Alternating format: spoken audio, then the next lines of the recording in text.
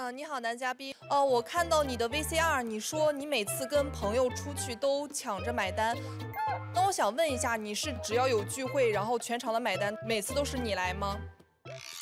呃，这样的阶段持续过一段时间，呃，近两年创业的时候取得了一点小小的成果嘛，那于产生了一定的呃虚荣的心理，所以特别想去证明自己嘛。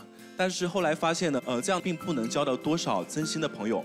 就比如说我在真正需要帮助的时候，那我发现曾经我邀请过的人，他们可能并不是说多么积极、多么主动，所以很快我认识到，其实这并不是一个多么有效的社交。对呀，觉得你的回答就是说到了我的心里。因为我之前有一个前男友，但是他的经济条件不是很好，但是每次我们跟朋友一起出去的时候呢，他就是愿意充大头。就基本上所有的开销或者是吃饭，全部都是他自己来抢着买单。更过分的是有一次，就他好像在支付宝上跟一个朋友在聊天儿，那个朋友跟他借钱，需要两万块钱。哦，那个朋友就是说跟他的关系不是很好，可能只是有几面之缘。然后我的这个前男友就是二话不说，直接把两万块钱打到他的那个支付宝里。我觉得就是不应该通过这种方式来，呃，显示自己有多么的大方，然后或者自己有多么的有实力。对呀。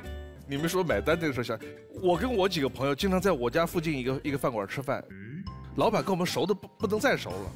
有一次吃完饭，我们四个人吃完饭，过了两天，老板跟我说：“鹏鹏，你们前天晚上在这吃饭。”我说：“对啊，怎么了？”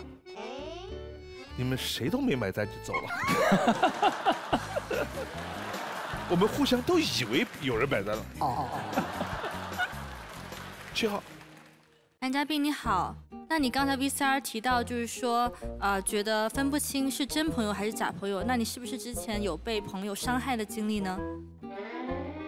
嗯，对，有过这样的经历。就比如说，我有一次去搬家嘛，我把之前经常约出来的朋友，然后我去问个遍，然后有没有愿意去帮忙的，可能真正愿意主动、非常积极的或者第一时间回复的很少。所以的话，让我认清这么多的社交，并不是每一个都是有意义的。所以我就后来就是有选择性的去社交了。对，我觉得真正的朋友应该是在我们需要的时候，然后去给予我们帮助，然后会在我们的低谷的时候依旧陪在我们身边，给予我们鼓励，这个才能算得上是真朋友。嗯，我非常赞同。